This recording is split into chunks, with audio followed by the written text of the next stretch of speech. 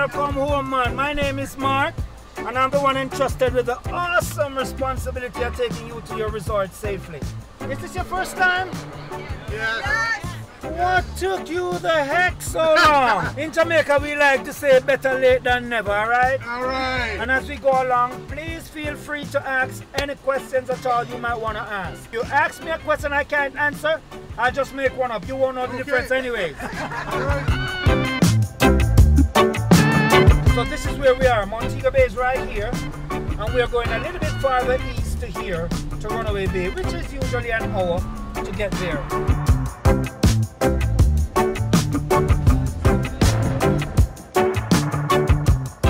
So if you're watching this video, I'm assuming that as a creative you probably have a bit of a client base. And this client base maybe has some travel plans for their business. And you may not know that yet, but if you apply some of the things that I'm going to mention in this video, your clients may extend projects to you that include traveling. We'll talk more about that in a minute.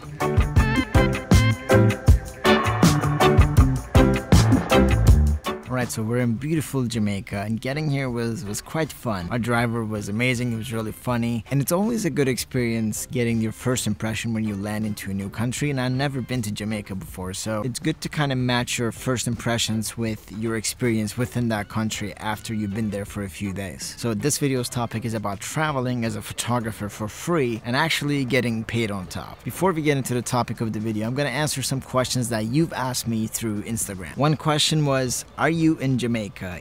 Yes. Second question, wildest photography job you have done yet? So a couple weeks ago, I traveled to Halifax, Nova Scotia, and there was actually a historic storm on the way to traveling to Halifax. And I knew about this. It kind of was an experience, and I wanted to take a chance. I believe that taking risks is, is very important. I landed in Halifax, the electricity was down, no internet, and my phone was not getting any service. Like, it was an experience, but I think the product that came out of that was really good because of that experience. Traveling into a storm, that's probably one of the crazy ones. Another question How do you manage funding your projects? How do you market yourself to get sponsors? I don't actually have any sponsors and I fund my projects personally. I run my own production company, I do photography and high end video production. So, with that, I take small portion of my income and I fund my personal projects, which my personal projects are really not that costly. Um, they're more time consuming, but they're really not that costly. I'm working on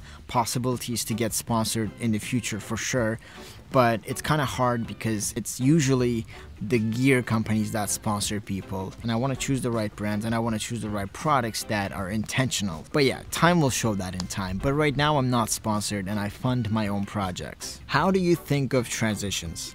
I think this question is coming from an Instagram perspective. I make stories with like cool transitions and stuff. I have to think about what I'm gonna do that day or that event. Sometimes like the best thing is like if I'm traveling somewhere, I would show a bit of my journey getting ready and I'll transition into the plane or the destination. What I always keep in mind with transitions is that they need to show a time difference or, or a location difference. So it's not just that they look cool, but they need to actually mean something. When you started video editing, did you buy LUTs or did you just start color grading yourself? So in the beginning, I bought LUTs because they were they sounded good. You can get like LUTs from the Dark Knight movie or like you can get the Hollywood look, the cinematic stuff.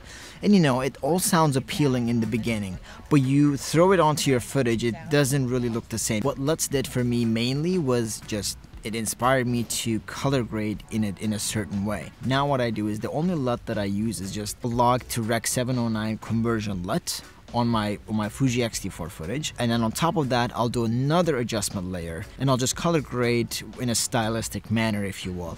But I guess with color grading it's important to convert your footage into an actual Rec 709 so that it looks like standard you get the colors back and then you can tweak from there. As soon as I discovered that which was pretty quick I know the LUT look wasn't really for me. Were you born in Canada? Because you have a unique accent. No I wasn't. I was actually born in Turkey moved to Canada in 2006 I was 12, and I guess I carry some of the accent. What is the number one piece of advice you would give to a new photographer? There's a lot of things I can say. The cliche thing about not being so gear or equipment oriented, That would be one, but that's kind of like an old advice now. Because one thing that happens after you get all the gear that you want is that no matter what happens, you hit that creative block. And at that moment, when you are in that creative block, it doesn't matter what kind of gear, what kind of lens, what kind of camera you have. So my advice is find out what makes you creative. Find out rituals that enhance your creativity and definitely connect with your inner self to go over that creative rut. And at that moment where you're actually on top of your creativity, the type of camera you have or the lenses that you have doesn't really matter. And yes, there's the obvious stuff where gear matters. Like if you're a wildlife photographer, you probably don't want to shoot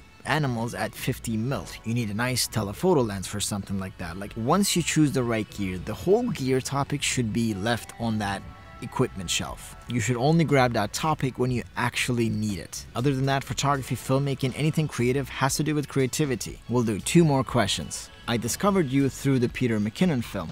Will you be releasing new stuff like that? Yes, I will be. Um, there's so many other stories that I want to tell, and I just finished writing a new one, so I'm excited to start working on that. And now we'll take the last question, which actually shaped up today's video. I was trying to come up with a video topic, so this last question is the topic of this video. How do you have so much money to travel countries? Now, that question requires one answer. I don't have that much money to fund myself to travel all these countries, as well as maintain a life in Canada. I mean, I can make that happen, but it just won't be smart. So, how do I travel? The answer to this question will be from a photographer from a filmmaker perspective. It won't be coming from an influencer perspective because I'm not. So I'm not going to show you ways to uh, market yourself with other brands and get sponsored to travel. That's not what we are talking about. If you're a photographer, if you run a production company, if you're a videographer, there is a lot of chances for you to travel the world without paying anything and on top of that,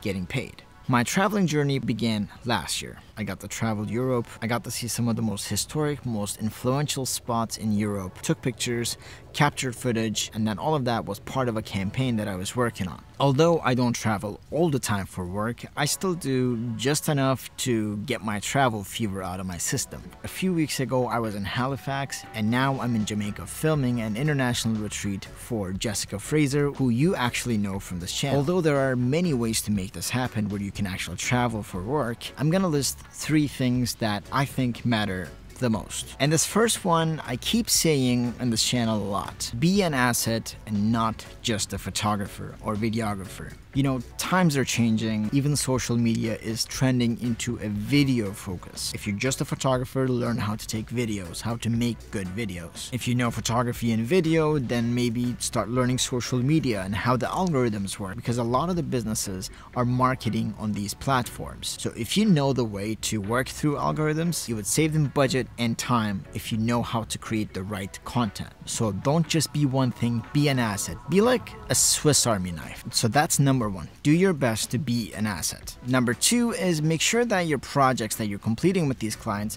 are multi-purpose. With your clients, work on building libraries that you can actually create more stuff for them in the long run. This is actually really beneficial for clients, which is going to require you storing footage which will be expensive, I know, but at the same time, this is a huge value for your clients.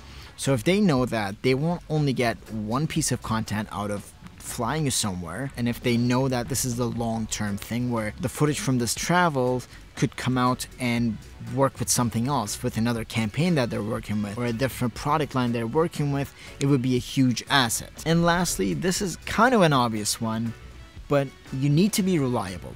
Let's be honest, it's expensive to stay at a hotel for a week, it's expensive to fly to places, and this is a huge investment for your clients. If you haven't proven that you are reliable locally, chances are they will never fly you out somewhere. If you're late to your meetings, if you're not prepared, or if you're just not giving them good products, they will never, they will never take a risk on flying you somewhere because they already know that they can't trust you. This is an obvious one but can easily be forgotten, so just be mindful of being reliable. And remember, if you do make it out on these trips with your clients, it's always work first. You need to provide them with what they ask you for, you need to do your best, and if you have extra time to do whatever else you want to do, that's your thing. And something else to remember if you were to get another project or potentially create another video or another campaign for your client, doing that locally might be more profitable for you rather than traveling. Because instead of traveling, you can just charge them for another project, but you won't get the experience. Then, if you want, you can travel with your own money. But coming to places with clients and doing projects for them in other countries and other experiences, it's a lot more than making money. Your clients trust you with their plans, with their dreams. So that means a lot. On being reliable, always remember that these people took a risk and their their dreams are on the line essentially because there's an expectation of you providing something. Being a part of someone's dream means a lot more. And this is tied with the beautiful travel experiences that you might have. So yeah, that's it. I've got a couple more days here. I'm back to Canada, and then we're gonna go somewhere really unique. I'll see you guys in the next video.